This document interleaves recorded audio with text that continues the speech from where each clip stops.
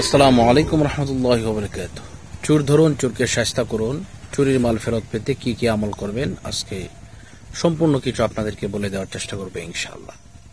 আল্লাপাক রব্বুল আলমিন কুরআনুল করিমের মধ্যে ছয় হাজার ছয়শত ছেষট্টি কান আয়াত নাদিল করে দিয়েছেন।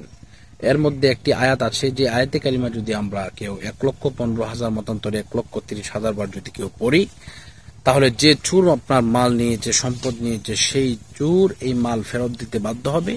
সেই চুর যদি মাল ফেরত না দেয়, তার গলা দিয়ে রক্ত বের হবে এবং সে তার শরীরের মধ্যে জ্বালাপোড়া শুরু হয়ে যাবে, এমন অবস্থা হবে তার মৃত্যু পর্যন্ত ঘটতে পারে, ইনশাআল্লাহ। এজন্য আসুন, আমরা অবশ্যই এই বিষয়ে একটু কথা বলি। তা হচ্ছে, এটা কীভাবে আপনারা পড়বেন?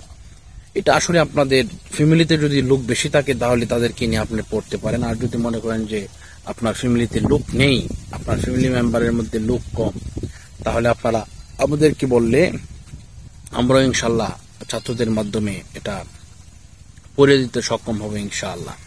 তো সর্বোপরি যে কথাটা বলতে চাই, আমাদের সাথে যোগাযোগ করলে এই নাম্বারে যোগাযোগ করবেন।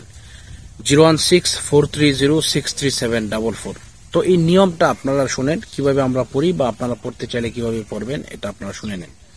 তো প্রথমত হচ্ছে, আপনাকে যে কাজটা করতে হবে, অজুর সহিত আপনাকে থাকতে হবে। আপনি শরীর পবিত্র থাকতে হবে এবং যে জায়গার মধ্যে বসে পড়বেন ওই জায়গাটাও আপনার পবিত্র থাকতে হবে।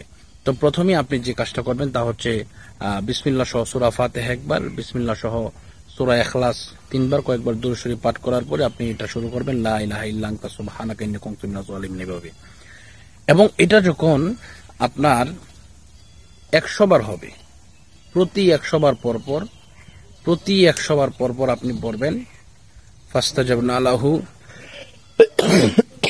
যাইনাহু মিনাল গাম্মি ওয়া কাযালিকা নুনজিল মুমিনিন আমি সেটা এইভাবে বলতে